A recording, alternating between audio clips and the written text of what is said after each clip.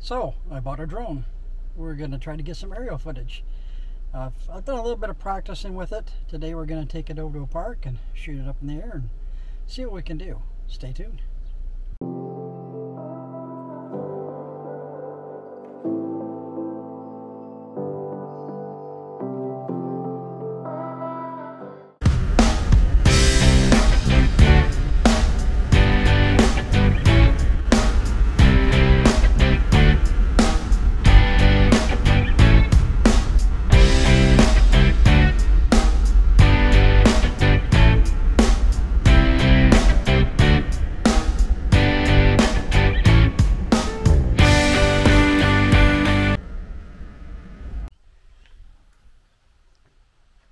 Okay, so the drone.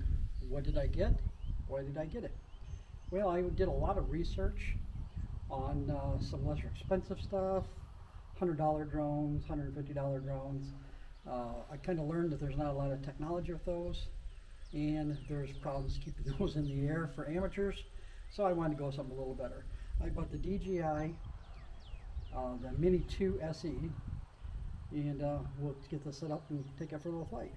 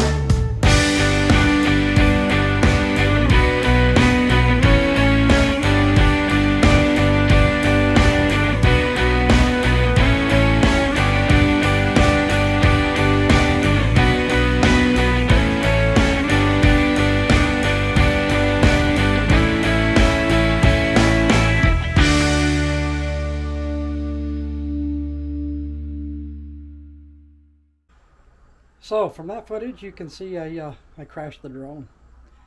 I put that sucker right into a tree. But we've recovered it and we're going to see what we can do to fix it up and see if we can get that thing to fly again. Okay, so here's the drone on my desk. Uh, kind of broke the gimbal here, busted where the camera attaches on. So we've got that kind of taken out a little bit, just kind of hanging on by the cords. We're going to try to see if we can uh, glue that back together and see if it works again. I've already put a battery in, kind of tested it. It does power up. Motors do turn on. So if we can get that camera reattached and working, we'll be flying and taking footage again.